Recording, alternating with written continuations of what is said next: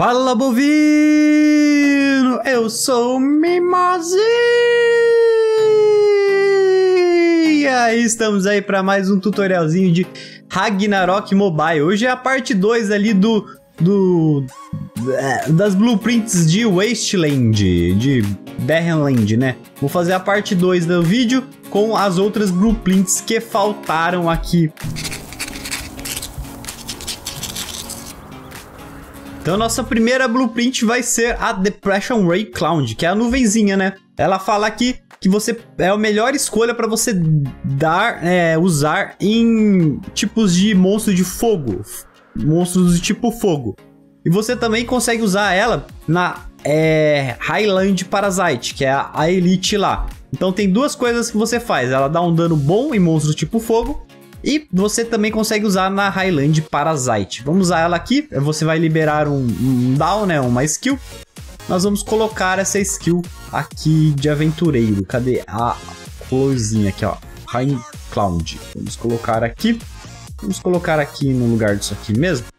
E vamos usar então nas duas coisas que precisamos. A primeira coisa é a Parasite, que ela fica aqui no, nessa parte do mapa. Nessa partezinha aqui você vai usar ela, né? você ganharia então é o, o itemzinho da quest lá, né? Se você usasse nela, pode ver seu itemzinho brilhando aqui. Você ganharia ele, você pegaria e ter, faria a quest lá que é a quest especial. É uma quest que tem aí, que tem aqui no meu canal também, que para você fazer ela. Eu esqueci, mas é alguma coisa Parasite. E a outra coisa é usar em monstros de fogo. Eu vou procurar um monstro de fogo aqui para ver se realmente dá, dá um dano legal nele. No caso, um monstro de fogo que teríamos é o Firebird Shiri, Shiri, né? Vamos ver se dá um dano legal nele, então. Deixa eu matar esses bichos chatos aqui que tá me incomodando. Ah, já foram embora. Vamos ver qual é o dano que dá nele, então, se nós usarmos essa skill nele. Espero que seja um dano legal, que é, ele é um mini boss, né? Um mini, mini aqui da fase. Dá um dano de 3kk? Não, pera. Não, dá um dano baixo, até 35k. Um dano bem, bem, bem baixinho mesmo. Na real. Mas ajudaria a matar, né? Se você não conseguir matar ele direitinho sozinho, acho que ajudaria a matar ele. É, daria uma ajudinha. Você jogaria isso aqui, a Rain Cloud, né? E daria uma ajuda para matar ele. Porque eu acho que quando eu não tava atacando, ele, ele não atacava eu também. Aí você mataria sem você atacar. Atacar você, pelo jeito. Aí no caso demoraria, né? Mas você conseguiria matar, por exemplo, aqui, ó, ele, sem você tomar dano. Só vai tomar um daninho meio que dos bichos do lado. Porque dele mesmo, ó, você vai matando o mini boss aqui, ó, somente com a Ray Cloud, sem precisar se preocupar em dar dano nele. É bem legal para quem de repente não, não conseguir ainda matar esse mini boss e quiser dropar o item dele ou qualquer coisa assim, né? Você pode somente comprar sua Ray Cloud e você poder, ó, deixar matando o bichinho aí, ó, sem fazer muito esforço. Então esse aí é a nossa primeira blueprint aí podemos utilizar aqui no Maple Leaf Faramita e Wasteland. A segunda blueprint aí que nós vamos testar aqui é a Ancient Land Mine. Ela é uma mina, né, que você coloca em determinados locais, também é uma skill que você usa. Bom, vamos ver, eu acho que eu coloquei no chão. Ou não, será que é aqui? Acho que veio, veio pra parar aqui, ó. No, nas skills mesmo. Aqui, ó, Ancient Land Mine. Vamos utilizar, vamos ver qual que é o dano dela, né? Vamos ver se é, é um dano legal. Aqui, ó, vamos colocar aqui no chão. Vamos ver se ela explode. Qual que é o dano dela. Ela dá um dano bem legal, ó. Um dano bom para matar os bichos. De repente, seria legal a gente colocar em alguns locais aqui. Apesar que gasta, né? É uma coisa chata gastar. Não sei se os elites também tomariam um dano bom dele. Vamos ver quanto que tomaria um elite. Um dano do elite. Não, o Elite não tomaria dano bom, não. Seria algo mais para matar bicho mesmo. Não tenho tanta certeza se valeria tanto a pena, não. Mas, mas é um, mais um item aí, aqui do, do game, né? Que oferece para você aqui em Wasteland ou Maple Leaf Faramir. O próximo item aqui de Wasteland Blueprint, né? É a Troublemaker.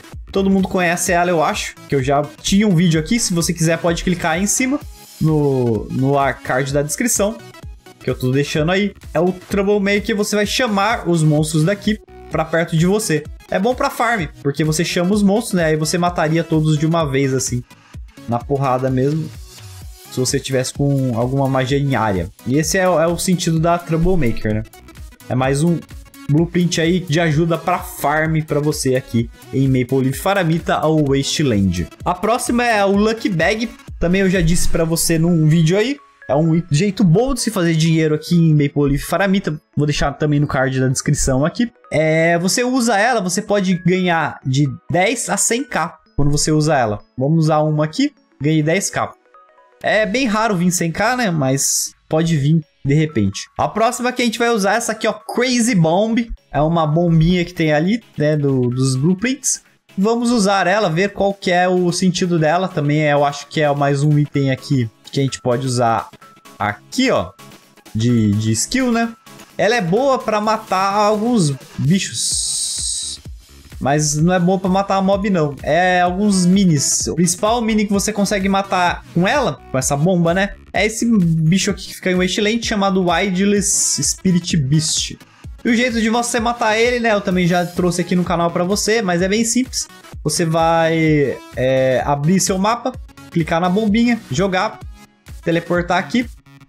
Aí você vai descer lá de novo, né? Ir até lá, ir lá jogar a bomba nele de novo. E até matar ele é um jeito fácil, assim, de matar esse Spirit Beast. Sem se preocupar em, em level e nada. Só ir lá e fazer esse esquema aí para matar ele. Bem simplesão também. O próximo aqui é a Flut of Dead. Você usa ela para summonar um mini boss daqui, né? Um elite daqui. Mas também você vai utilizá-lo para morrer, né? Caso você morra, você consegue recuperar a vida. Vamos lá, vamos matar o... Vamos atacar o Monkey. Ele vai me matar. Aí, ó. Ele me matou. E no momento que ele me matou, aparece a chance de eu usar a flauta, né? Então a flauta ela vai te reviver com 100% de HP e 100% de mana aqui dentro dessas fases de é, Wasteland e Maple Leaf Faramita. Aí você revive, você tá com 100% de vida. Ela gasta, né? Na hora que você utilizou ela, você gastou ela. O próximo é o Mirror. É Contact Mirror, né? Aqui diz aqui no, no, na descrição que você pode se transformar em um bicho, né? Escolher um bicho aí para você se transformar, ficar igual ele. Vamos lá, vamos testar, vamos testar, ver como é que funciona isso. É, vamos clicar aqui e pronto. Aí me teleportei, virei o macaquinho. Mas infelizmente é só a aparência mesmo. Não tem muita. Tipo, não. Não muda as outras coisas. Só você deixar clicado, por exemplo, no morro. Você utilizar o mirror, você transforma no macaquinho. É legal porque, tipo, é, é bonitinho, né? Você pode virar o um macaquinho e sair andando por aí fingindo ser um macaquinho. Mas é inútil. A próxima blueprint chamada é Wild Blade. Você acaba utilizando ela em alguma quest aí, que eu não lembro direito qual. Eu não sei o que ela faz. Sinceramente, aqui ela fala que ela pode usar, ser usada para autodefesa. Não tem como usá-la aqui. Simplesmente você tem ela presa aqui no seu personagem. E eu ainda não achei um uso para ela. Desde quando começou aqui o Wasteland, foi a única blueprint aí que eu não achei um uso real. Bom, se você souber, já deixa aí nos comentários, além da quest, né? Se você souber o que faz com ela além da quest. Então lembre-se aí, pessoal, já deixa aquele like, se inscreva aí no canal. Lembrando que a gente faz tutoriais aqui de Ragnarok Mobile, eu faço aqui toda semana um tutorial para você. Trago um tutorial ou alguma dica, alguma coisinha nova que o jogo trouxe, né? Também tem alguns vídeos de humor aqui no canal que você pode dar uma olhadinha lá, ver se você gosta. E é isso aí, vamos continuar então aqui a nossa apresentação das blueprints aqui de Wasteland. A próxima blueprint é a Key of Magic Door. Você vai utilizar essa Key para você liberar as... Tem no mapa algumas portas que se abrem é, em determinados momentos. Acho que aqui deve ter uma porta. É, aqui ó, por exemplo, tem uma porta. E elas se abrem em determinados momentos. Com essa chave você vai conseguir abri-las e saindo delas vai sair vários elites. Por exemplo, vamos abrir aqui essa porta aqui. É, você dá, coloca a chave, né? Contribui com a chave. E pronto, você abriu. E vai começar a aparecer alguns elites aqui no local. Depois que você matar é, os monstrinhos que aparecem aqui, né? Vai começar a aparecer uns elites aí, ó. Apareceu o Skeleton Mage. É um jeito fácil de você acabar matando os elites, né? Porque aparece, eu acho que até quatro elites ao longo. Mas você tem que matar eles para eles aparecerem mais. Felizmente eu não vou conseguir matar para vocês. Meu personagem ainda não consegue matá-los. Mas é isso aí, vai aparecer vários elites aqui à medida que você for matando os elites que aparecerem, né? Aí vai aparecendo mais. É um jeito fácil aí, ó. Apareceu o Wild Spirit Beast e apareceu o Skeleton Mage. Provavelmente vai aparecer mais uns aí. O próximo é o Smoke Photograph. É uma coisa que antigamente o pessoal utilizava para farmar, mas hoje em dia só serve mesmo para travar o Smoke no local, né? Uh, utilizar ela aqui. Eu acho que... Não, ela vai ficar aqui. Se o T-Smoke estivesse aqui perto, ele ia ficar preso perto e você conseguiria matar o Elite da fase, né? O Smoke. É isso aí, ela serve para isso mesmo, só agora. Não serve para chamar bicho, não serve para nada, só serve para deixar o Smoke perto de você. Bom, e o próximo então e último aqui de Maple Leaf Faramita, é a última blueprint, é a Midas Taut Shovel. O que, que ela vai fazer? Você vai utilizá-la e você vai acabar recebendo é, algum item, alguma coisa de sorte. Por exemplo, é, vou utilizar uma aqui e vai aparecer um carinha que vai cavar para você. Ele vai jogar um dadinho e vai ver a sorte que tem. Ó. Ah, ganhei o Ancient Remains. É uma coisa meio, meio bobinha, não sei, não tenho certeza se acaba vindo alguma coisa boa à medida que você for usando ela, né? Por via das dúvidas, vamos utilizar 10 delas, vamos ver o que, que vai acabar vindo entre as 10. Aí vai aparecer um dado, esse dado vai te dar alguma chance de vir alguma coisa. Aí veio Dust, veio Ancient Remains, mas no fim, tipo, não sei se é tão útil, porque você acaba utilizando isso para comprar Blueprint, né? Ó, veio 6. Pode ser que venha alguma coisa boa, 5k. 5k também não é lá grande coisa, não. Preferiria comprar essa bolsinha, né? Vamos utilizar as 10, vamos ver o que vai vir, ó. Veio 3 agora, ganhei o Ancient Remains.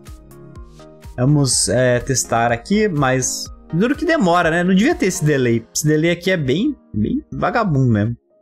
Ter esse delayzinho. Atrapalha. É, porque, tipo, você quer usar várias delas, mas por causa desse delay você não vai acabar usando. Ó, ganho 4, mas recente mês. Sinceramente, não vejo muito utilidade disso não, pelo visto. De usar 10 assim. A gente ganhou até um 6 e veio... Também não veio alguma coisa tão eficiente não. 6 deve ser difícil de ser pego, né? E é o máximo que dá para pegar. No fim, é, é elas por elas, porque você vai gastar Ancient Remains para fazer elas. Ela aqui, né? Essa chave e você vai gastar a chave nela. Não, não é algo útil, não. Eu não recomendaria. Aí vê, quando você pega um, pode vir até um bichinho aqui, ó, pra você atacar. Vem uma rara mandrágora. Aí, dá mandragorinha mesmo. Vem um itemzinho aí de mandrágora. Legal. Não sabia disso aí, não. O que, que mais que vai vir aí? Ancient Remains. Não sei o que, que pode vir, tipo, a mais aqui. Qual que são as chances de vir cada bicho, cada monstro? Não sei não. Mas, aí ó, veio outra mandrágora. Outra rara mandrágora. No fim, eu acabei pegando umas mandragorinhas, né? As mandragorinhas não, não são de se jogar fora. Como que eu disse lá no, no, no link que eu tô deixando na descrição aqui também. Pra você farmar é, itens, é, dinheiro, né? Você também pode utilizar essas mandrágoras para você fazer um pouquinho mais de dinheiro no dia a dia. E é isso aí, eu acho que cumprimos aí a tarefa de mostrar. Ah, é, só apareceu o bicho atrás de mim. Cumprimos aí a tarefa de mostrar para vocês, né, todos as blueprints aqui de Wasteland, com exceção de uma que é a Wild, a Wild, aquela espadinha lá, aquela adaga, né, que eu não sei para que serve, além de uma quest que eu acabei utilizando ela. Se alguém souber, então, por favor, já deixa aí nos comentários pra gente. É, muito obrigado por assistir mais esse vídeo aqui, você que ficou até o final. E até a próxima!